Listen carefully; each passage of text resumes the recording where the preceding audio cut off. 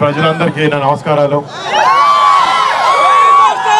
నిజంగా ఉత్సాహం రెట్టింపు అయిపోయింది మీ ఊరికి వచ్చిన తర్వాత గ్రామంకి వచ్చిన తర్వాత.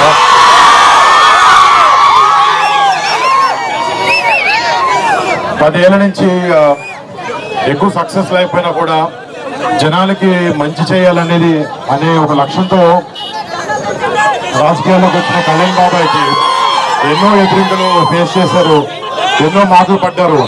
కానీ కేవలం ప్రజలకి మంచి చేయాలని ఒకే ఒక ఉద్దేశంతో ఈ అన్ని దెబ్బలు తింటూ కూడా ఈ మంచి వైపు ఆలోచించే వ్యక్తి పవన్ కళ్యాణ్ గారు.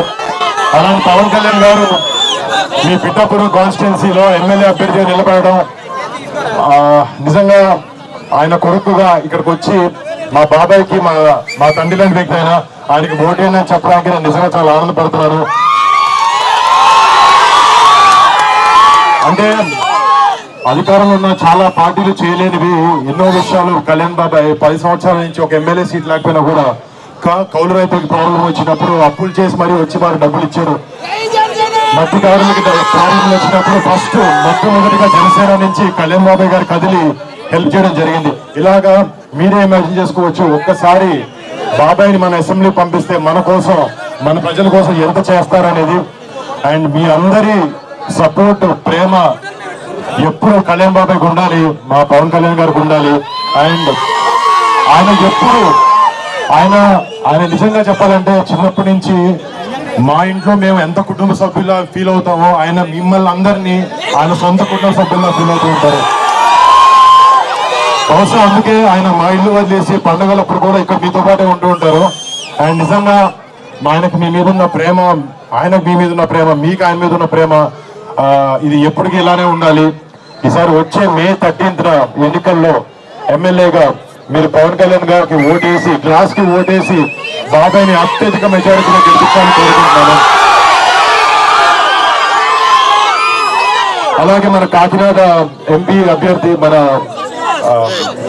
ఉదయ్ గారు శ్రీనివాస్ ఉదయ్ గారు కూడా ఆయన కూడా ఓటేసి గ్లాస్ గుర్తుకి రెండు ఓట్లు వేసి ఎంతో మెజారిటీతో గ్లాస్ గుర్తుని జనసేనని గెలిపించాలని కోరుకుంటున్నాం. జై జనసేన జై టీడీపీ జై బీజేపీ జై పవన్ కళ్యాణ్ జై హింద్. చాలా మంది మాటలు పడినా కూడా పదేళ్ళ నుంచి కష్టం నమ్ముకుంటూ ప్రజల సేవ కోసం మంచి చేయాలని ఒకే ఉద్దేశంతో జనసేన పార్టీని పదేళ్ళుగా నడుపుతూ ఇవాళ ఆంధ్రప్రదేశ్ రాష్ట్రంలో జనసేన అంటే ఒక పవర్ఫుల్ పార్టీ లాగా ఎన్నికైంది. ఇలా జనసేన వెనకాల నుంచి పనిచేసిన ప్రతి ఒక్క జనసేనని ప్రతి ఒక్క జనసైనికుడికి నా ధన్యవాదాలు.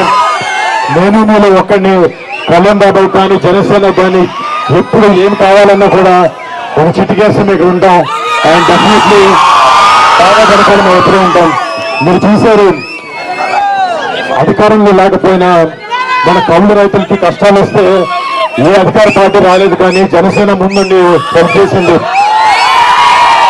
అలాగే మత్స్యకారులకి ఏదైనా ప్రాబ్లం వచ్చినప్పుడు కూడా ఫస్ట్ కళ్యాణ్ బాబు ఉంచున్నాడు బాబాకి ఒక్కసారి మీరు అందరూ గెలిపించి అసెంబ్లీకి పంపిస్తే రేపు పొద్దున పిఠాపురాన్ని దేశం మొత్తం చూసే ప్రజలు చేస్తారు. దాంట్లో ఎటువంటి అసలు లేదు. అండ్ మీ అందరికీ రేపు పొద్దున చుట్టుపక్కల ప్రతి గ్రామంలో పిఠాపురం అంటే ఒక రేంజ్లో ఉండేటట్టు చూస్తారు. అంటే మాకు కూడా మా కుటుంబ సభ్యులకి చిన్నప్పటి నుంచి మేము నెల్లూరులోను మొగతూరులోను పెట్టి పెట్టి పెరిగిన తర్వాత సినిమా ఇండస్ట్రీ అటు ఇటు తిరుగుతున్నాం మాకు సొంతూరు అంటూ అంటే ఆలోచిస్తుంటే ఒకటేలా లేదు.